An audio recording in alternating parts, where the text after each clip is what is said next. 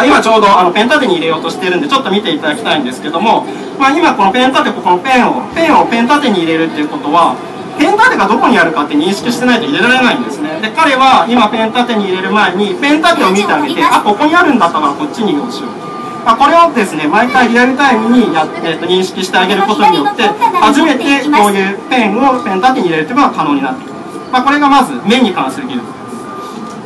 でもう1点あると言いました。それは耳に関する技術です。ねえっ、と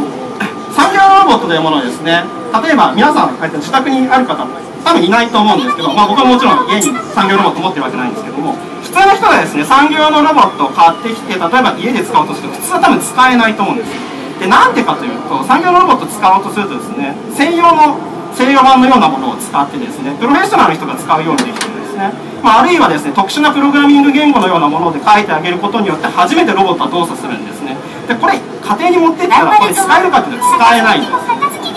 じゃあどうやって使わせたらいいのか人間からどうやってロボット側に仕事を指示して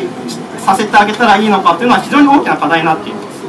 ですのでで我々が研究開発しているのは、まあ、先ほどから申し上げていると耳に関するすなわち言葉で喋って言葉の意図を理解してそれに応じて仕事をする。あるいは指で指してあげてジェスチャーの意図を理解してそれに合わせて仕事をすると、まあ、こういうようなことができるようになって